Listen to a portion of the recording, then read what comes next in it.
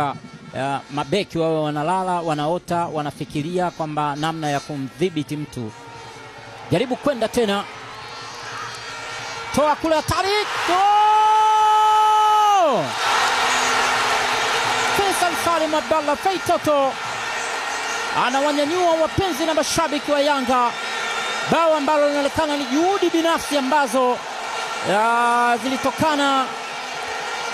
Ni juhudi binafsi Ni Gadiel Michael Mbaga anatoa pasi ya mwisho kwa Faisal Salum na hakufanya madhambi. Faitoto akaweza ku- ku- ku- ku- ku- kuiandikia timu yake goli. Ni juhudi binafsi, ni juhudi binafsi hakika kabisa za Gadiel Michael Mbaga.